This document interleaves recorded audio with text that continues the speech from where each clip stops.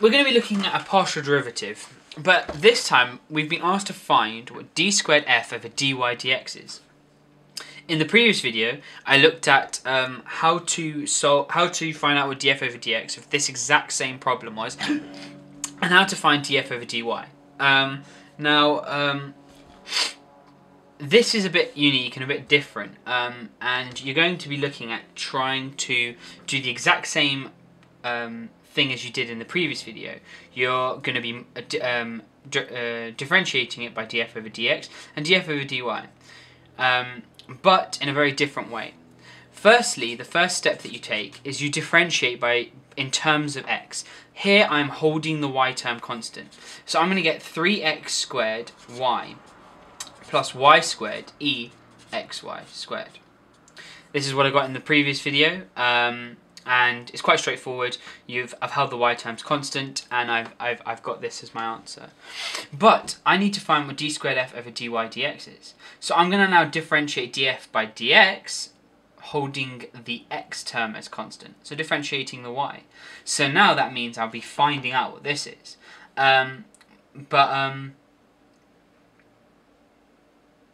but as you can see, we have um, a, um, a y term here and a y term here. So I'm going to have to use the product rule on this part here. But if I hold, um, uh, if, if I now, if, if I, let me just start doing it, dy over dx. So holding the x terms as constant and differentiating y, this will become 3x squared.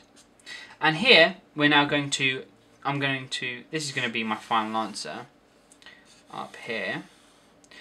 But I'm now going to start down here and split this up. Make u equal y squared, make v equal e to the x y squared.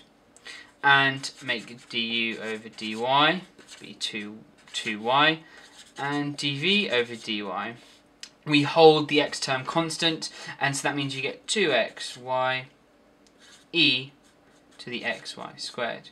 Using the product rule, I then get 2x y cubed u times dv dy um, to the power xy squared plus 2ye to the power xy squared.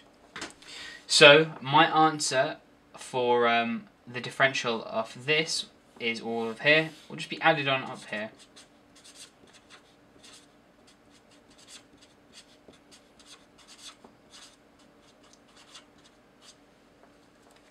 and that is my answer. I can um, I can um, simplify this out a little bit. Um, perhaps uh, just using this side, you can kind of go 3x squared and maybe take out a 2, take out a y. So you can probably take out a 2y xy squared. And you can have 2x y squared plus 1. Um, so that, that, that is my answer. So as you can see, to solve this kind of a problem, um, you're not going to be uh, differentiating this by df of dx and then differentiating this by df dy and then multiplying it together. You won't get the right answer. Um, you're going to be looking at trying to uh, get df over dx and then differentiating this in terms of then y um, and then holding the x terms constant. So you differentiate so you differentiate this in terms of x, then you differentiate this in terms of y, and then this will give you this answer. So as you can see for this question I choose the product rule a bit, but generally uh, this type of question is quite straightforward.